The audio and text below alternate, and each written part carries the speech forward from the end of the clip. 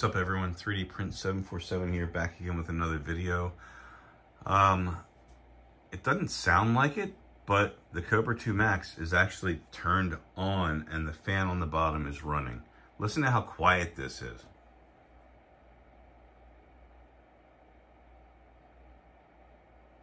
That's amazing. This thing sounded like a jet flying through my office when the old fan was in. I replaced the fan with a Noctua 92 millimeter. Um, let me uh, get the box here.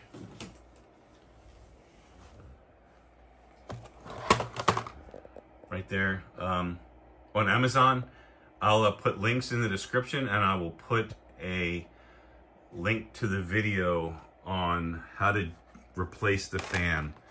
I think I spent 25 bucks on the fan and 12 bucks on the step down unit. You have to step the voltage down from 24 volts to 12 volts because the fan uh, here is a 12 volt fan and the fan that was in the the original fan was a 24 volt. So you have to step down the fan. Oh, there's a screw. And then you also have to print some feet because the, you can see under there, the case for the new fan is a little, uh, it sticks out a little bit. And then also on top of that, and here's where you gotta be really careful. The step down right there, if you touch that voltage, you get shocked. So you gotta be careful. I'm gonna look at um, probably uh, modeling a case around that. Right now I just attached it with hot glue, but that's going in. Uh, the fan is running pretty uh, nice, but really, really super quiet.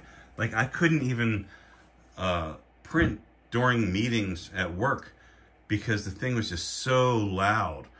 But this fan takes care of that. So I'm going to put everything down in the description. Um, the fan that uh, I used, the step down unit, and you'll need to get just some small 22 gauge wire. You probably have some laying around your house maybe. Uh, and that's all you need. And then you'll print the fan housing. And listen to this, man. That is amazing to me. Like, why wouldn't Anycubic just do that right off the bat? Instead of having the jet engine fan in there, making it like so loud, like so obnoxiously loud. It's crazy. So let me go ahead and I'll uh, get this video uploaded and I will put a link in the description. I think I'm going to print something first to make sure that there's no issues um, heat-wise and all that stuff and then I'll put this video up. So I'll report back once the print's done.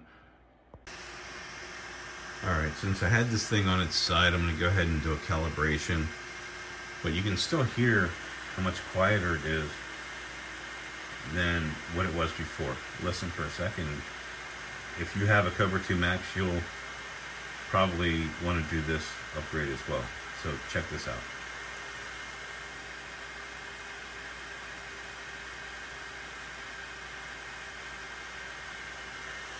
That's super quiet.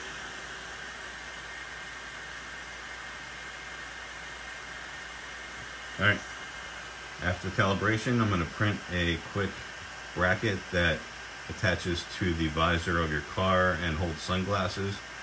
Uh, we'll see how it turns out. Back in a bit. Okay, so the print just finished and I thought that the Anycubic showed how long the print took, but for some reason it's not showing up here. So I got to look into this more. I'm not real familiar with this interface. Um, I need to just do some more research on it and do some reading. But anyway, the print finished. This is just a real quick uh, visor clip. It goes over the visor and then your sunglasses slide in here so you can keep your sunglasses up on top of your visor. I just wanted to print something with the new fan to make sure that it didn't overheat and make sure that everything looked good.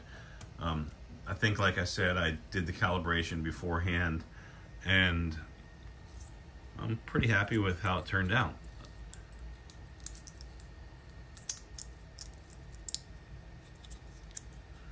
So, yeah.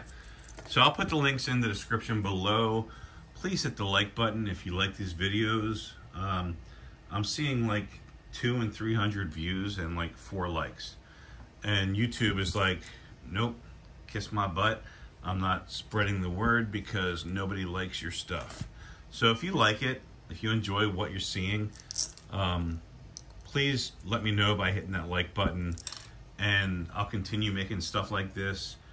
Uh, probably gonna do a helmet on here, maybe Ant-Man um, in the real uh, in the real near future. One thing that um, I don't like doing is editing my videos and doing retakes and talking five times until I get it right. So you'll hear the blah blah, blah and me screwing up, but that's just me being human. Um, but I like the way this sounds. Listen that. You can't even hear that thing. That's amazing. I'm so happy with this uh, modification. And it took maybe 40 minutes taking my time watching the video at the most. So I'm going to put all the links in the description and let me know if you guys do it and what you think. One other thing is I tried to send the print from Anycubic slicer over to here over Wi-Fi and I couldn't find a way to do it. And people are saying that you can do it.